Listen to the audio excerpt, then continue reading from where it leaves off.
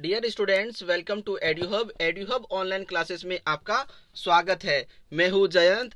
आज दोस्तों, मैं यहाँ पे आया हूँ आपको एक बहुत बड़ी, जो है, बहुत ही ज़्यादा दुख की इन्फॉर्मेशन है मेरे पास, जो मैं आपके साथ शेयर करना चाहता हूँ। इसको देखकर मुझे भी एक बार शौक लगा दोस्तों। जो स्टूडेंट्स बहुत समय से एग्ज़ाम की तैयारी करते हैं, उसके बाद एग्ज़ाम को क्रैक कर लेते हैं पास हो जाते हैं, उसके बाद उनका एक डॉक्यूमेंट वेरिफिकेशन का स्टेप होता है। उस डॉक्यूमेंट वेरिफिकेशन के अंदर उसको हम क्लियर करते हैं और उसके बाद हमारी जॉब लगती है। तो दोस्तों, अभी जो कनिष्ठ अभ्यता संयुक्त सीधी भर्ती थी दोस्तों, उसके लिए उसका रिज़ल्ट आ गया था। उसके बाद जो कि नोटिफिकेशन आया था कि आपको अपना जो है डॉक्यूमेंट वेरिफिकेशन करवाना है 19 अप्रैल और 20 अप्रैल, इसकी डेट थी, ठीक है? 19 अप्रैल और 20 अप्रैल इसकी डेट थी। आज नोटिफिकेशन डाल रहे हैं बोर्ड की तरफ़ से कि आपका जो ये डॉक्यूमेंट वेरिफिकेशन कराना था, उसको अभी के लिए पोस्टपोन कर दिया गया है। ठीक है? किसको? किसके लिए? कोविड को देखते हुए। कोविड की जो दूसरी लहर आई है, इसको देखते हुए जो डॉक्यूमेंट वेरिफिकेशन था, उसको कैंसिल करा दिया है।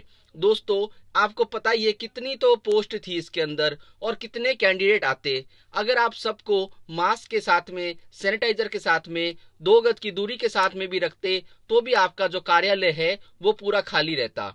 फिर भी आपने डॉक्यूमेंट वेरिफिकेशन ना करवा के उनको कैंसिल करवाना ज़्यादा आपको इजी लगा, क्योंकि आपको जॉब नहीं देनी है, केवल जॉब के नाम पर आपको एक जो है, फैलाना है कि आप जो है जॉब दे रहे हैं। केवल आपको डॉक्यूमेंट वेरिफिकेशन करना था और कैंडिडेट जो है, उनको रिलैक्सेशन मिल जाता और वो अपनी जो है, उनकी जॉब कंफर्म हो जाती। अब इसमें से डेढ़ गुना लोगों को आप बुला रहे हो, उसमें भी आपने जो है, इसको भी पोस्टपोन कर दिया। तो ये बहुत बड़ी दुख की खबर है, जो मैं आप लोगों के साथ शेयर कर रहा हूँ। ये जो बोर्ड है R S M S S B Rajasthan कर्मचारी चयन बोर्ड ये पता नहीं क्या करना चाह रहा है। 2018 के बाद एक भी सही तरह से कोई भी वैकेंसी को कंप्लीट नहीं कराई जा रही है। लाइब्रेरियन की वैकेंसी भी कैंसिल हो गई है। इस तरीके से अगर आप देखो तो कोई भी एक ऐसी वैकेंसी नहीं है जो ये अच्छी तरीके से कवर करवा रहे हैं। तो नोटिफिकेशन के ऊपर अगर बात करें तो 19 चार और 20 चार को जो आपका डॉक्यूमेंट वेरिफिकेशन होना था, उसको कैंसिल कर दिया। उक्त दस्तावेज़ सत्यापन कार्यक्रम कोरोना महामारी प्रकोप के कारण स्थगित किए जाते हैं। किसी भी काम को स्थगित कर देते हैं और कोविड का नाम डाल देते हैं दोस्तों।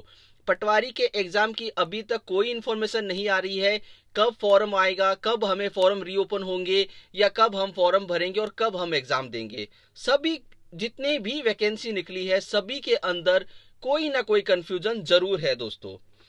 इन अभ्यर्थियों के दस्तावेज़ सत्यापन की नवीनतम दिनांक के बारे में बोर्ड की वेबसाइट के माध्यम से अलग से सूचित किया जाएगा। विस्तृत जानकारी के लिए बोर्ड की वेबसाइट पर आप विज़िट करें। अब दोस्तों, जिनका 19 तारीख को डॉक्यूमेंट वेरिफिकेशन था दैट मीन्स आज की डेट को तो वो कैंडिडेट तो अपने घर से निकल ही चुके थे।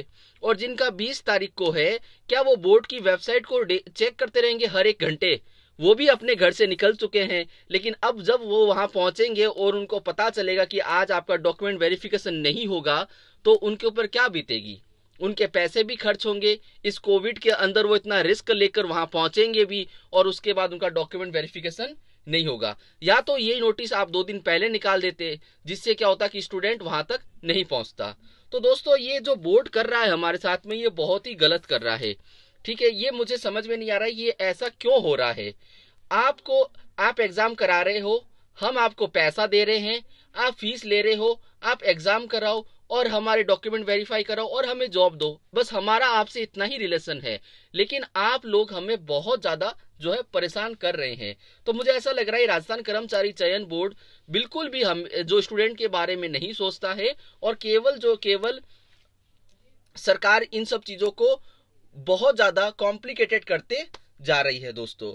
तो यही एक इन्फॉर्मेशन आई थी। आई होप ये उन बच्चों के पास पहुँच जाए जिनको कल डॉक्यूमेंट वेरिफिकेशन के लिए जाना है और वो ना जाए, क्योंकि उनका डॉक्यूमेंट वेरिफिकेशन अभी नहीं होगा। बाद में जब होगा, तब मैं आपको इसी चैनल के ऊपर अपडेट दे दूँगा दोस्तों। Thank you have a nice day bye